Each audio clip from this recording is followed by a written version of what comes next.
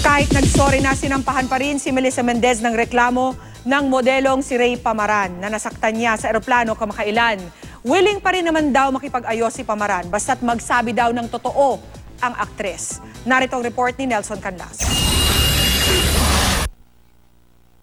Magsabi ng totoo, yan ang kondisyon ng modelo at negosyanteng si Ray Pamaran para tuluyan silang magkapatawaran ni Melissa Mendez.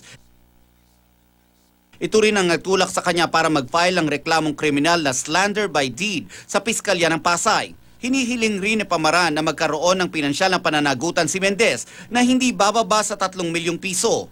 Nag-ugat ito sa komosyong nangyari noong March 20, 2015 na magkasabay silang dalawa sa isang flight mula Maynila patungong Pagadian City. Ayon sa 7-page complaint affidavit na isinumite ni Pamaran sa Paskalya, nag-umpisa ang gusot ng makitang okupado ni Mendez ang upuang naka-assign sa kanya. Ayaw raw umalis ni Mendez na kalaunay naging hysterical daw. Sabi pa ni Pamaran, makailang ulit daw siyang minura at sinakta ni Mendez. Nagresulta ito sa pagbalik ng flight sa Maynila at pagpapababa sa aktres mula sa eroplano. Para siguro malinis yung pangalan ko, di ba?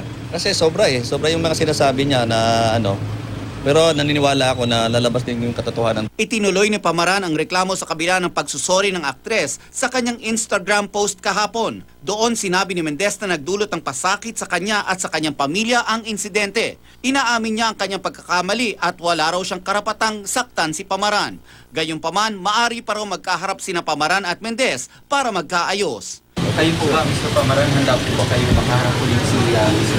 Oo naman, kagabi nga, may inutusan siyang common friend namin, di ba? Na sabi ni Melissa, gusto niya akong makausap ng personal. Sabi ko, kakausapin ko siya, magkikita kami. After niya sasabihin lahat ng totoo in public in TV, right? Nakausap ng GMA News si Mendez at hindi na muna raw siya magbibigay ng pahayag tungkol sa reklamong isinampa laban sa kanya.